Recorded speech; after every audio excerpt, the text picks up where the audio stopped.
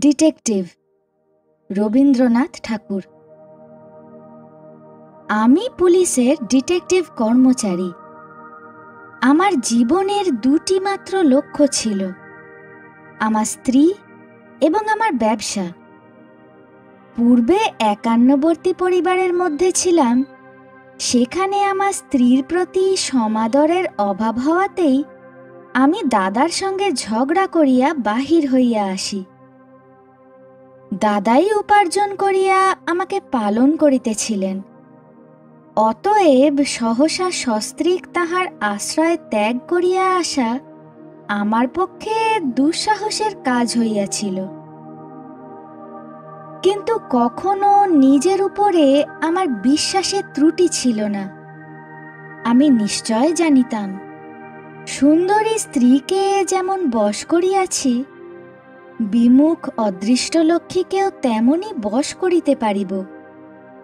মহিমচন্দ্র এ সংসারে পশ্চাতে পড়িয়া থাকিবে না। পুলিশ বিভাগে সামান্যভাবে প্রবেশ করিলাম। অবশেষে ডিটেকটিভ পদে উত্তীর্ণ হইতে অধিক বিলম্ব হইল না। উজ্জ্বল শিখা হইতেও যেমন কজ্জল কজ্জলপাত হয়, তেমনি আমার স্ত্রীর প্রেম হইতেও ঈর্ষা এবং সন্দেহের কালিমা বাহির হইত। সেটাতে আমার কিছু কাজের ব্যাঘাত করিত। কারণ পুলিশের কর্মে স্থানাস্থান, কালাকাল বিচার করিলে চলে না। বরঞ্চ স্থানের অপেক্ষা অস্থান এবং কালের অপেক্ষা অকালটারই চর্চা অধিক করিয়া করিতে হয়। তাহাতে করিয়া আমার স্ত্রীর স্বভাবসিদ্ধ সন্দেহ আরও যেন দুর্নিবার হইয়া উঠিত। সে আমাকে ভয় দেখাইবার জন্য বলিত, তুমি এমন যখন তখন যেখানে সেখানে যাপন করো, কালে ভদ্রে আমার সঙ্গে দেখা হয়, আমার জন্য তোমার আশঙ্কা হয় না? আমি তাহাকে বলিতাম সন্দেহ করা আমাদের ব্যবসায়। সেই কারণে ঘরের মধ্যে সেটাকে আর আনি না। স্ত্রী বলিত, সন্দেহ করা আমার ব্যবসায় নহে, উহা আমার স্বভাব। আমাকে তুমি লেশমাত্র সন্দেহের কারণ দিলে আমি সব করিতে পারি। ডিটেকটিভ লাইনে আমি সকলের সেরা হইব। একটা নাম রাখিব। এ প্রতিজ্ঞা আমার দৃঢ় ছিল। এ সম্বন্ধে যত কিছু বিবরণ এবং গল্প আছে, তাহার কোনোটাই পড়িতে বাকি রাখি নাই। কিন্তু পড়িয়া কেবল মনের অসন্তোষ এবং অধীরতা বাড়িতে লাগিল।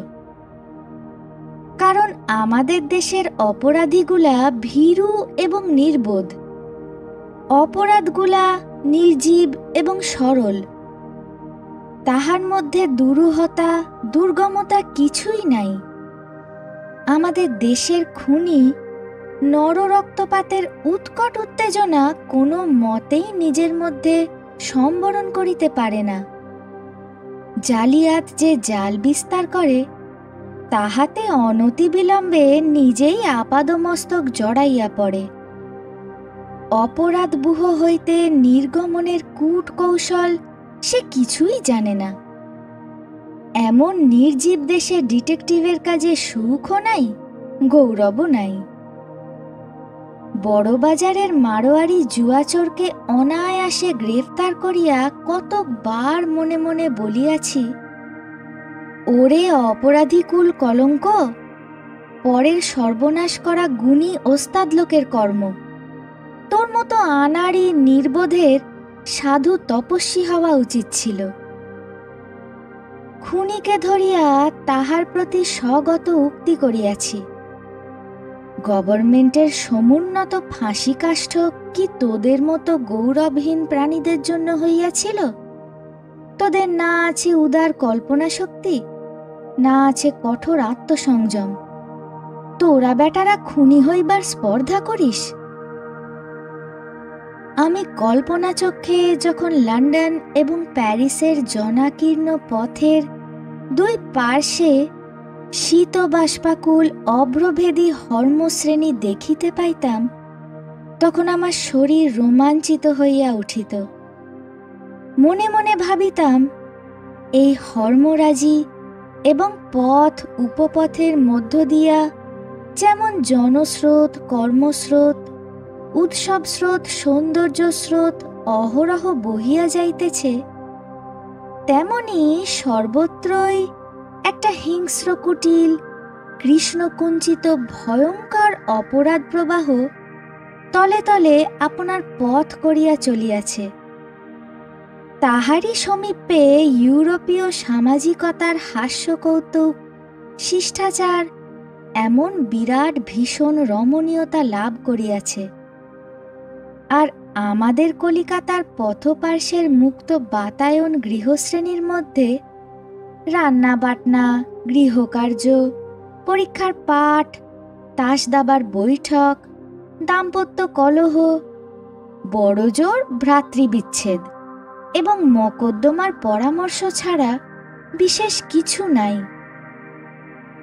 কোনো একটা বাড়ির দিকে চাহিয়া কখনো এ কথা মনে হয় না যে হয়তো এই মুহূর্তেই, এই গৃহের কোনো একটা কোণে শয়তান মুখ গুঁজিয়া বসিয়া আপনার কালো কালো ডিমগুলিতে তা দিতেছে। আমি অনেক সময় রাস্তার বাহির হইয়া পথিকদের মুখ এবং চলনের ভাব পর্যবেক্ষণ করিতাম।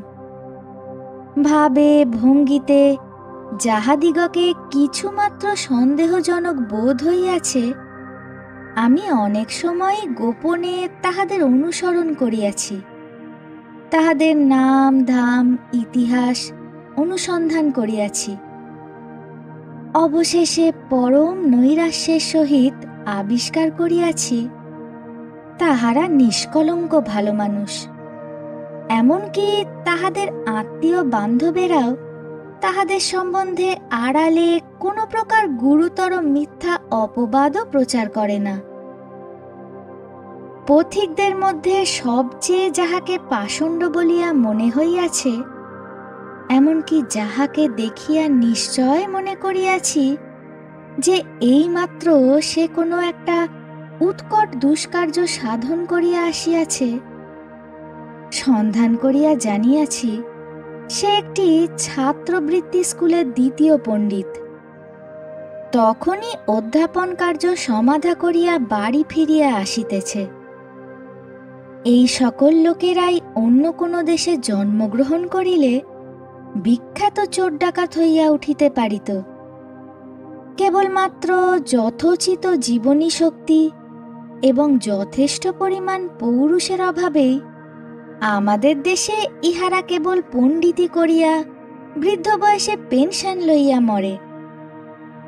বহু চেষ্টা ও সন্ধানের পর এই দ্বিতীয় পণ্ডিতটার নিরীহতার প্রতি আমার যেরূপ সুগভীর অশ্রদ্ধা জন্মিয়াছিল, কোনো অতি ক্ষুদ্র ঘটিবাটি চোরের প্রতি তেমন হয় নাই।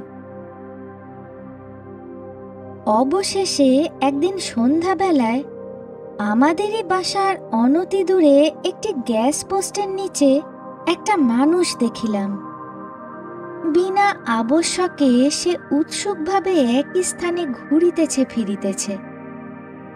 তাহাকে দেখিয়া আমার সন্দেহ মাত্র রহিল না যে সে একটি কোনো গোপন দুরভিসন্ধির পশ্চাতে নিযুক্ত রহিয়াছে। নিজে অন্ধকারে প্রচ্ছন্ন থাকিয়া তাহার চেহারাখানা বেশ ভালো করিয়া দেখিয়া লইলাম। তরুণ বয়স, দেখিতে সুশ্রী। আমি মনে মনে কহিলাম, দুষ্কর্ম করিবার এই তো ঠিক উপযুক্ত চেহারা। নিজের মুখশ্রী যাদের সর্বপ্রধান বিরুদ্ধ সাক্ষী, তাহারা যেন সর্বপ্রকার অপরাধের কার্য সর্বযত্নে পরিহার করে। সৎকার্য করিয়া তাহারা নিষ্ফল হইতে পারে। কিন্তু দুষ্কর্ম দ্বারা সফলতা লাভও তাহাদের পক্ষে দুরাশা। দেখিলাম এই ছোকরাটির চেহারাটাই ইহার সর্বপ্রধান বাহাদুরি। সেজন্য আমি মনে মনে অনেকক্ষণ ধরিয়া তাহার তারিফ করিলাম। বলিলাম, ভগবান তোমাকে যে দুর্লভ সুবিধাটি দিয়াছেন সেটাকে রীতিমতো কাজে খাটাইতে পারো, তবে তো বলি সাবাস। আমি অন্ধকার হইতে তাহার সম্মুখে আসিয়াই পৃষ্ঠে চপেটাঘাতপূর্বক বলিলাম এই যে, ভালো আছেন তো? সে তৎক্ষণাৎ প্রবল মাত্রায় চমকিয়া উঠিয়া একেবারে ফ্যাকাশে হইয়া উঠিল। আমি কহিলাম, মাপ করিবেন, ভুল হইয়াছে। হঠাৎ আপনাকে অন্য লোক ঠাউরাইয়াছিলাম মনে করিলাম কিছুমাত্র ভুল করি নাই। যাহা ঠাউরাইয়াছিলাম তাই বটে। কিন্তু এতটা অধিক চমকিয়া ওঠা তাহার পক্ষে অনুপযুক্ত হইয়াছিল। ইহাতে আমি কিছু ক্ষুণ্ণ হইলাম। নিজের শরীরের প্রতি তাহার আরও অধিক দখল থাকা উচিত ছিল। কিন্তু শ্রেষ্ঠতার সম্পূর্ণ আদর্শ অপরাধী শ্রেণির মধ্যেও বিরল। চোরকেও সেরা চোর করিয়া তুলিতে প্রকৃতি কৃপণতা করিয়া থাকে। অন্তরালে আসিয়া দেখিলাম, সে ত্রস্তভাবে গ্যাস পোস্ট ছাড়িয়া চলিয়া গেল। পিছনে পিছনে গেলাম। দেখিলাম গোলদিঘির মধ্যে প্রবেশ করিয়া পুষ্করিণী তীরে তৃণশয্যার উপর চিত হইয়া শুইয়া পড়িল। আমি ভাবিলাম, উপায় চিন্তার এ একটা স্থান বটে। গ্যাস পোস্টের তলদেশ অপেক্ষা অনেকাংশে ভালো। লোকে যদি কিছু সন্দেহ করে, তো বড় জোর এই ভাবিতে পারে যে ছোকরাটি অন্ধকার আকাশে প্রেয়সীর মুখচন্দ্র অঙ্কিত করিয়া কৃষ্ণপক্ষ রাত্রির অভাব পূরণ করিতেছে। ছেলেটির প্রতি উত্তরোত্তর আমার চিত্ত আকৃষ্ট হইতে লাগিল। অনুসন্ধান করিয়া তাহার বাসা জানিলাম। মনমথ তার নাম, সে কলেজের ছাত্র। পরীক্ষা ফেল করিয়া গ্রীষ্মাবকাশে ঘুরিয়া ঘুরিয়া বেড়াইতেছে। তাহার বাসার সহবাসী ছাত্রগণ সকলেই আপন আপন বাড়ি চলিয়া গেছে। দীর্ঘ অবকাশকালে সকল ছাত্রই বাসা ছাড়িয়া পালায়। এই লোকটিকে কোন দুষ্টগ্রহ ছুটি দিতেছে না, সেটা বাহির করিতে কৃতসংকল্প হইলাম। আমিও ছাত্র সাজিয়া তাহার বাসার এক অংশ গ্রহণ করিলাম। প্রথম দিন যখন সে আমাকে দেখিল কেমন একরকম করিয়া সে আমার মুখের দিকে চাহিল। তাহার ভাবটা ভালো বুঝিলাম না। যেন সে বিস্মিত, যেন সে আমার অভিপ্রায় বুঝিতে পারিয়াছে, এমনই একটা ভাব। বুঝিলাম শিকারীর উপযুক্ত শিকার বটে। ইহাকে সোজাভাবে ফস করিয়া কায়দা করা যাইবে না। অথচ যখন তাহার সহিত প্রণয় বন্ধনের চেষ্টা করিলাম, তখন সে ধরা দিতে কিছুমাত্র দ্বিধা করিল না। কিন্তু মনে হইল, সেও আমাকে সুতীক্ষ্ণ দৃষ্টিতে দেখে, সেও আমাকে চিনিতে চায়।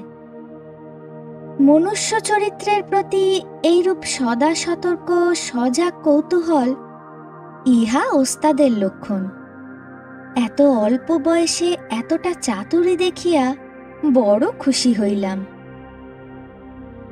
মনে ভাবিলাম, মাঝখানে একজন রমণী না আনিলে এই অসাধারণ অকালধূর্ত ছেলেটির হৃদয়দ্বার উদ্ঘাটন করা সহজ হইবে না।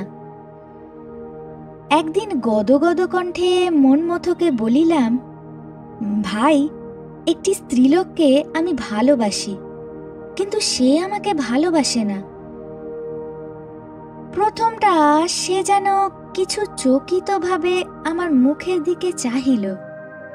তাহার পর ঈষৎ হাসিয়া কহিল, এরূপ দুর্যোগ বিরল নহে। এই প্রকার মজা করিবার জন্যই কৌতুকপর বিধাতা নরনারীর প্রভেদ করিয়াছেন। আমি কহিলাম তোমার পরামর্শ ও সাহায্য চাহি।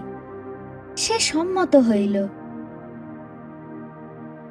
আমি বানাইয়া বানাইয়া অনেক ইতিহাস কহিলাম। সে সাগ্রহে কৌতূহলে সমস্ত কথা শুনিল। কিন্তু অধিক কথা কহিল না।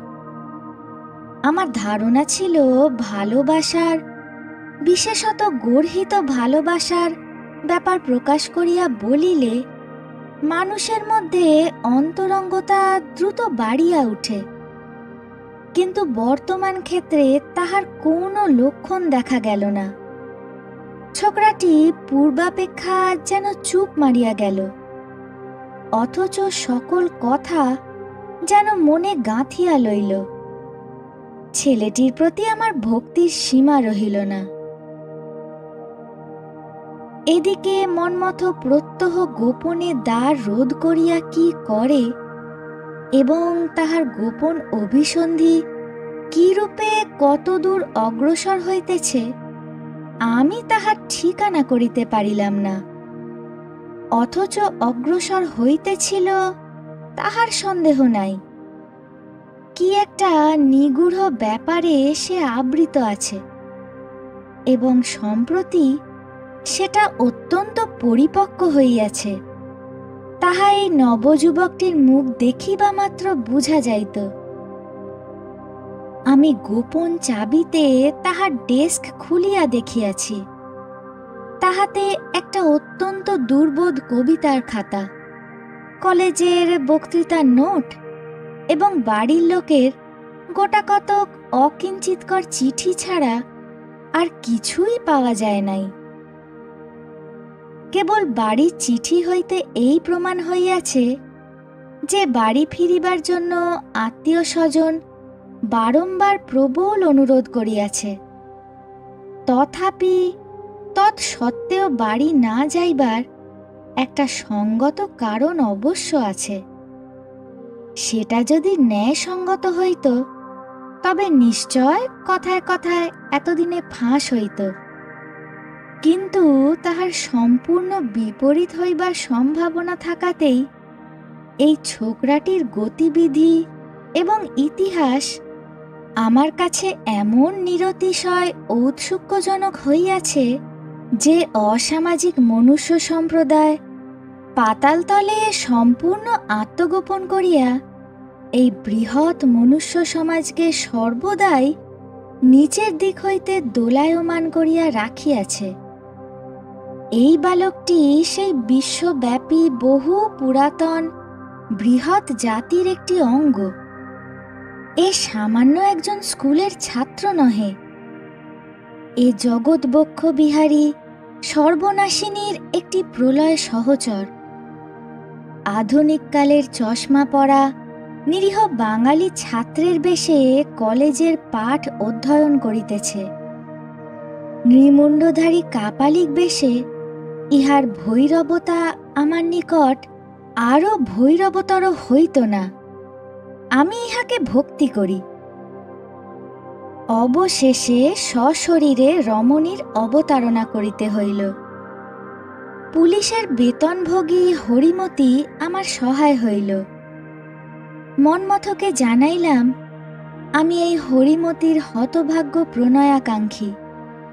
ইহাকে লক্ষ্য করিয়াই আমি কিছুদিন গোলদিঘির ধারে মনমথের পার্শ্ব চর হইয়া আবার গগনে কেন সুধাংশু উদয় রে কবিতাটি বারংবার আবৃত্তি করিলাম এবং হরিমতিও কতকটা অন্তরের সহিত কতকটা লীলা সহকারে জানাইল যে তাহার চিত্ত সে মনমথকে সমর্পণ করিয়াছে।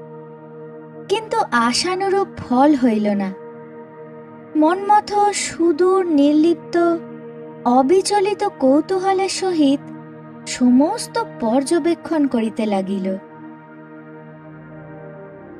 এমন সময় একদিন মধ্যাহ্নে তাহার ঘরের মেজেতে একখানি চিঠির গুটিকতক ছিন্নাংশ কুড়াইয়া পাইলাম। জোড়া দিয়া দিয়া এই অসম্পূর্ণ বাক্যটুকু আদায় করিলাম। আজ সন্ধ্যা সাতটার সময় গোপনে তোমার বাসায় অনেক খুঁজিয়া আর কিছু বাহির করিতে পারিলাম না। আমার অন্তঃকরণ পুলকিত হইয়া উঠিল। মাটির মধ্য হইতে কোনো বিলুপ্ত বংশ প্রাচীন প্রাণীর একখণ্ড হাড় পাইলে প্রত্নজীব তত্ত্ববিদের কল্পনা যেমন মহানন্দে সজাগ হইয়া ওঠে আমারও সেই অবস্থা হইল। আমি জানিতাম, আজ রাত্রি দশটার সময় আমাদের বাসায় হরিমতির আবির্ভাব হইবার কথা আছে। ইতিমধ্যে সন্ধ্যা সাতটার সময়, ব্যাপারখানা কি? ছেলেটির যেমন সাহস, তেমনই তীক্ষ্ণ বুদ্ধি। যদি কোনো গোপন অপরাধের কাজ করিতে হয়, তবে ঘরে যেদিন কোনো একটা বিশেষ হাঙ্গামা, সেই দিন অবকাশ করিয়া করা ভালো। প্রথমত প্রধান ব্যাপারের দিকে সকলের দৃষ্টি আকৃষ্ট থাকে। দ্বিতীয়ত, যেদিন যেখানে কোনো বিশেষ সমাগম আছে, সেদিন সেখানে কেহ ইচ্ছাপূর্বক কোনো গোপন ব্যাপারের অনুষ্ঠান করিবে, ইহা কেহ সম্ভব মনে করে না।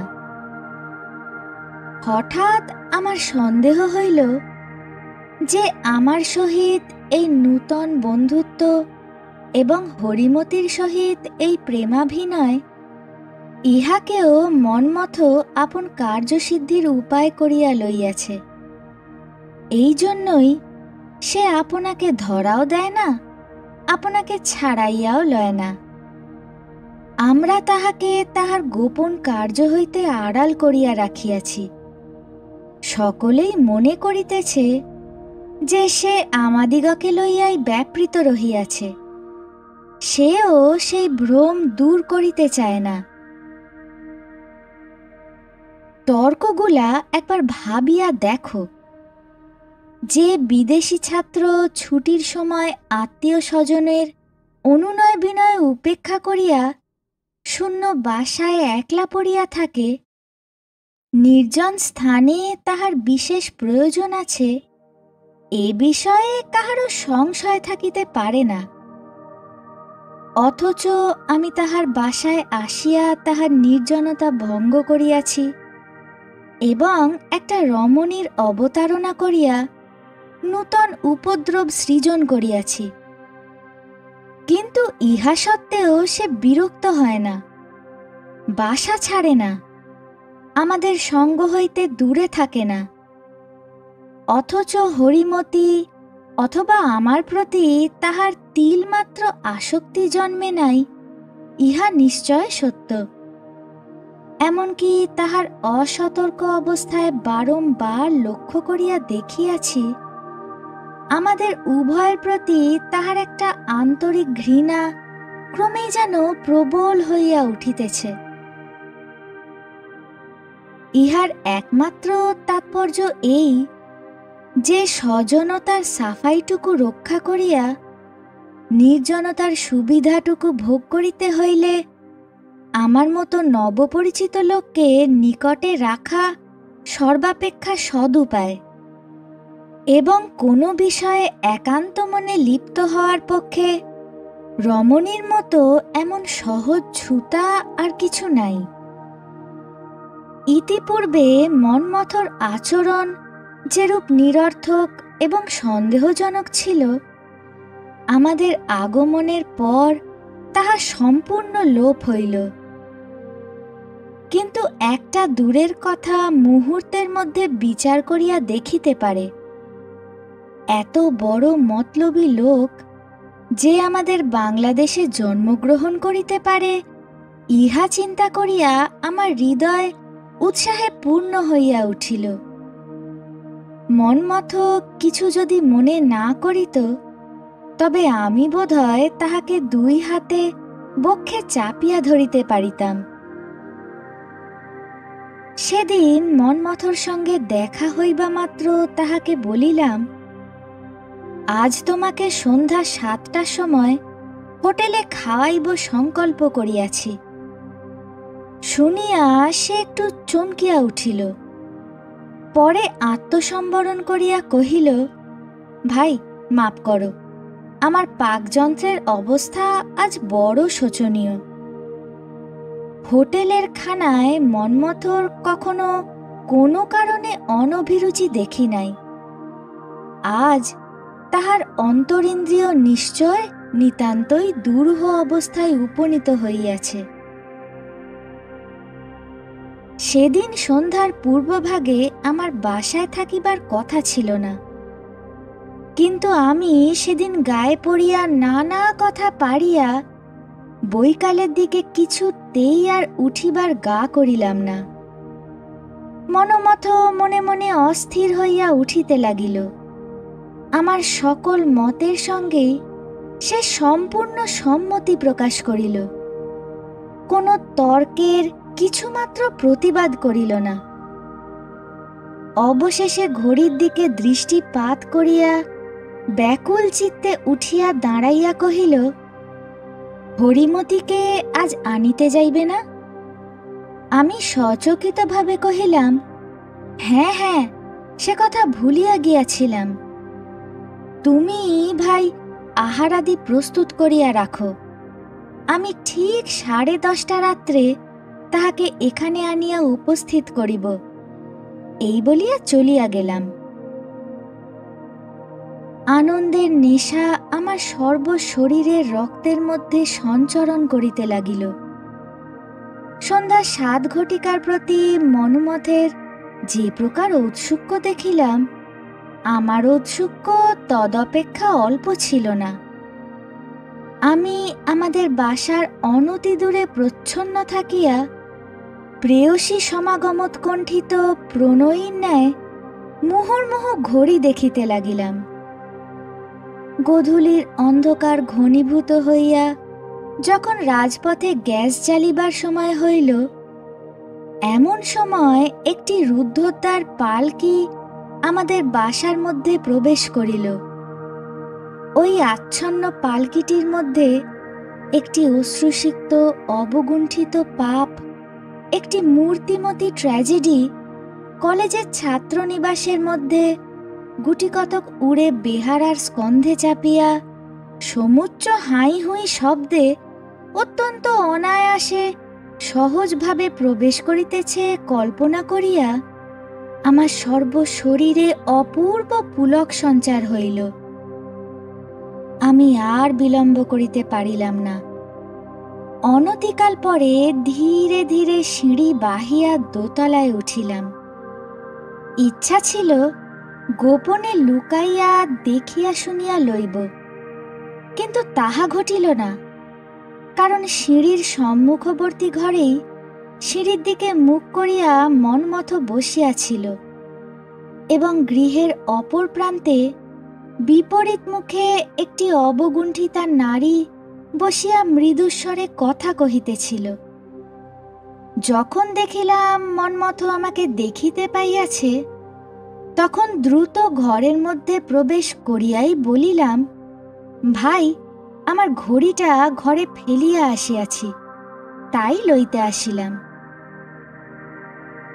মনমথ এমনই অভিভূত হইয়া পড়িল যে বোধ হইল যেন তখনই সে মাটিতে পড়িয়া যাইবে। আমি কৌতুক এবং আনন্দে নিরতিশয় ব্যগ্র হইয়া উঠিলাম। বলিলাম, ভাই, তোমার অসুখ করিয়াছে নাকি? সে কোনো উত্তর দিতে পারিল না। তখন সেই কাষ্ঠ পুত্তলিকাবৎ আড়ষ্ট অবগুণ্ঠিত নারীর দিকে ফিরিয়া জিজ্ঞাসা করিলাম, আপনি মনমথর কে হন? কোনো উত্তর পাইলাম না, কিন্তু দেখিলাম তিনি মনমথর কেহই হন না, আমারই স্ত্রী হন। তাহার পর কি হইল সকলে জানেন। এই আমার ডিটেকটিভ পদের প্রথম চোর ধরা। আমি কিয়ৎকাল পরে ডিটেকটিভ মহিমচন্দ্রকে কহিলাম মনমথর সহিত তোমার স্ত্রীর সম্বন্ধ সমাজবিরুদ্ধ না হইতেও পারে। মহিম কহিল, না হইবারই সম্ভব। আমার স্ত্রীর বাক্স হইতে মনমথর এই চিঠিখানি পাওয়া গেছে। বলিয়া একখানি চিঠি আমার হাতে দিল। সেখানি নিম্নে প্রকাশিত হইল। সুচরিতাসু। হতভাগ্য মন্মথর কথা তুমি বোধ করি এতদিনে ভুলিয়া গিয়াছ। বাল্যকালে যখন কাজী বাড়ির মাতুলালয়ে যাইতাম, তখন সর্বদাই সেখান হইতে তোমাদের বাড়ি গিয়া তোমার সহিত অনেক খেলা করিয়াছি। আমাদের সে খেলা ঘর এবং সে খেলার সম্পর্ক ভাঙিয়া গেছে। তুমি জানো কিনা বলিতে পারি না একসময় ধৈর্যের বাঁধ ভাঙিয়া এবং লজ্জার মাথা খাইয়া তোমার সহিত আমার বিবাহের সম্বন্ধ চেষ্টাও করিয়াছিলাম। কিন্তু আমাদের বয়স প্রায় এক বলিয়া উভয় পক্ষেরই কর্তারা কোনো ক্রমে রাজি হইলেন না। তাহার পর তোমার বিবাহ হইয়া গেলে চার পাঁচ বৎসর তোমার আর কোনো সন্ধান পাই নাই। আজ পাঁচ মাস হইল তোমার স্বামী কলিকাতার পুলিশের কর্ম লইয়া শহরে বদলি হইয়াছেন। খবর পাইয়া আমি তোমাদের বাসা সন্ধান করিয়া বাহির করিয়াছি। তোমার সহিত সাক্ষাতের দুরাশা আমার নাই, এবং অন্তর্যামী জানেন তোমার গার্হস্থ সুখের মধ্যে উপদ্রবের মতো প্রবেশ লাভ করিবার দুরভিসন্ধিও আমি রাখি না। সন্ধ্যার সময় তোমাদের বাসার সম্মুখবর্তী একটি গ্যাস পোস্টের তলে আমি সূর্যপাশকের ন্যায় দাঁড়াইয়া থাকি। তুমি ঠিক সাড়ে সাতটার সময় একটি প্রজ্বলিত কেরোসিন ল্যাম্প লইয়া প্রত্যহ নিয়মিত তোমাদের দোতলার দক্ষিণ দিকের ঘরের কাঁচের জানলাটির সম্মুখে স্থাপন করো। সেই সময় মুহূর্তকালের জন্য তোমার দীপালোকিত প্রতিমাখানি আমার দৃষ্টি পথে উদ্ভাসিত হইয়া ওঠে তোমার সম্বন্ধে আমার এই একটিমাত্র অপরাধ। ইতিমধ্যে ঘটনাক্রমে তোমার স্বামীর সহিত আমার আলাপ এবং ক্রমে ঘনিষ্ঠতাও হইয়াছে। তাহার চরিত্র যেরূপ দেখিলাম, তাহাতে বুঝিতে বাকি নাই যে তোমার জীবন সুখের নহে। তোমার প্রতি আমার কোনো প্রকার সামাজিক অধিকার নাই। কিন্তু যে বিধাতা তোমার দুঃখকে আমার দুঃখে পরিণত করিয়াছেন, তিনি সে দুঃখমোচনের চেষ্টা ভার আমার উপরেই স্থাপন করিয়াছেন। অতএব আমার স্পর্ধা মাপ করিয়া শুক্রবার সন্ধ্যাবেলায় ঠিক সাতটার সময় গোপনে পালকি করিয়া একবার বিশ মিনিটের জন্য আমার বাসায় আসিলে, আমি তোমাকে তোমার স্বামী সম্বন্ধে কতকগুলি গোপন কথা বলিতে চাহি। যদি বিশ্বাস না করো এবং যদি সহ্য করিতে পারো, তবে তৎসম্বন্ধে প্রমাণও দেখাইতে পারি। এবং সেই সঙ্গে কতকগুলি পরামর্শ দিতেও ইচ্ছা করি। আমি ভগবানকে অন্তরে রাখিয়া আশা করিতেছি, সেই পরামর্শ মতে চলিলে তুমি একদিন সুখী হইতে পারিবে। আমার উদ্দেশ্য সম্পূর্ণ নিঃস্বার্থ নহে। ক্ষণকালের জন্য তোমাকে সম্মুখে দেখিব, তোমার কথা শুনিব এবং তোমার চরণতল স্পর্শে আমার গৃহখানিকে চিরকালের জন্য সুখ স্বপ্নমণ্ডিত করিয়া তুলিব। এ আকাঙ্ক্ষাও আমার অন্তরে আছে। যদি আমাকে বিশ্বাস না করো এবং যদি এ সুখ হইতেও আমাকে বঞ্চিত করিতে চাও, তবে সে কথা আমাকে লিখিও। আমি তদুত্তরে পত্রযোগেই সকল কথা জানাইব। যদি চিঠি লিখিবার বিশ্বাসও না থাকে তবে আমার এই পত্রখানি তোমার স্বামীকে দেখাইও। তাহার পরে আমার যাহা বক্তব্য, তাহা তাহাকেই বলিব। নিত্য শুভাকাঙ্ক্ষী শ্রী মনমথনাথ মজুমদার।